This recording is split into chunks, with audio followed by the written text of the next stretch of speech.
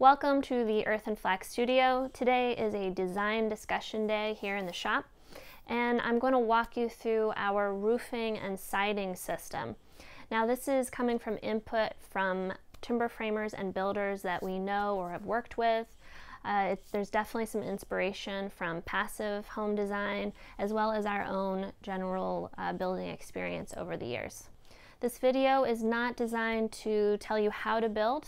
It is really just an example of how we might be able to avoid plastics and other arguably unhealthy, unsustainable materials in our build process. The goal is to get us thinking about how we might be able to take traditional building materials and techniques and blend them with modern building technology and requirements. I think that we can build with natural and sustainable materials and still create healthy and energy efficient structures. The two can go hand in hand. Here is our model. We've got our roofing system here, our siding system on the side there. You'll have to use your imagination a little bit, but I'm going to walk you through our different layers in the uh, the layer cake here. So our roofing system really starts above our joists. Consider this our you know, in tim uh, interior timbers and our roofing system, because this is exposed ceiling and rafters, really begins up here. So these are our timber rafters. Uh, our first step is a red oak tongue and groove.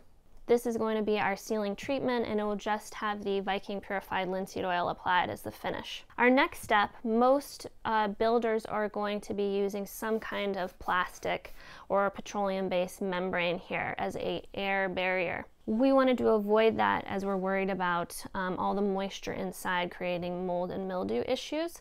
And um, an alternative might be uh, rosin paper or just a paper-based product. The issue or um, criticism of something like that is that it will sort of break down over time. So what we were able to do is create a uh, what I'm calling the earth and flax linoleum. And this is uh, linseed oil paint impregnated in a recycled fiber or paper base. And we're using this as our sort of breathable air barrier at this stage here in the roofing system.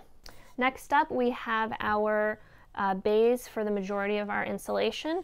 This co could be compressed or expanded depending on what insulation requirements you have in your area, what kind of R value is required for your project. Now we could probably have a whole video just on insulation. Um, and many of you might see that we're working with rock wool insulation today. We've got our batts here. We have our comfort board, rigid comfort board up there that we'll get to in a minute. And uh, to keep it kind of simple, I would argue that rock wool is simply the best option that is most readily available in North America. And most importantly, at least from my perspective, is if it gets wet, it can dry out, which is not the case for a lot of insulation products. There are some really interesting and exciting uh, alternatives uh, available in Europe, and we might start to see more and more of them here. But as of right now, uh, this might be our, you know, best option based on availability, based on performance. Our next layer here is a conventional plywood. This is really to just give rigidity for your uh, two inch comfort board insulation to sit upon. Maybe you could leave this layer out, but we really did feel that it was necessary for a nice base to um, then lay out our insulation. We have some conventional tar paper here, which again, we're trying to avoid petrochemicals. Uh, this is one compromise and using this here uh, gave us sort of confidence uh, to actually use a different type of tar paper on our sheathing and siding because we were so unimpressed. Um, for those who have used conventional and modern tar paper, you know, it's not a great material to work with. And um, so we're really excited to have developed maybe something that would be a, a more natural, a more sustainable alternative. So we have one layer of uh, modern tar paper here before we lay out our two inches of Rockwool comfort board insulation and that is going to be continuous. It's going to have no break across our entire roofing surface and as you can see it also meets uh, and is continuous for our siding system as well and we'll talk more about that in, in a little bit. So the fasteners that we're using to achieve this are uh, these specialty screws from Rothoblaas. Uh, we were able to source them online and the idea is that they have these specialty barbs at the top and we'll screw them through our furring strips here and they will uh, allow much easier adjustment as we do not want to compress our comfort board insulation. It will impact the R value and uh, impact the effectiveness of our continuous insulation. We've got our air gap here and as you can see our decking is actually our painted pine tongue and groove. So our painted linseed oil painted surface is facing down just in case any moisture ever got here, a little added uh, additional protection. And then on top of that, we were asked by our roofing team that they would like a nice sturdy base to attach the metal roof to.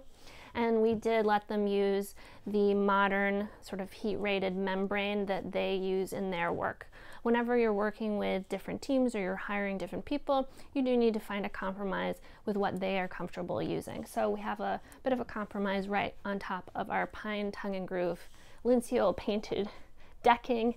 Um, we'll have a modern vapor barrier uh, applied on top of this before our two inch uh, standing seam metal roof is installed. Here at Earth and Flax, we love a metal roof. It is probably our most favorite roofing option. It is not so readily available depending on where you are in the country. Maybe the materials or just the skill set is uh, not, you know, easy for you to find wherever you are. Um, we are pretty lucky here in Pennsylvania uh, as we have a decent amount of Amish and Mennonite crews who have experience. So we did have a um, Amish crew do our uh, metal roof installation and you do always want to make sure that you have a nice air gap you can vent um, and have a venting system uh, for the, the base of the roof and your soffit as well as at the top um, where in our case it will be venting along the existing masonry wall. If you have any questions about anything we discussed today about the design that we're working on for this project, feel free to reach out. We'd love to hear from you. Leave a comment below, and if you want to follow along and see more of our videos for this project, please like and subscribe.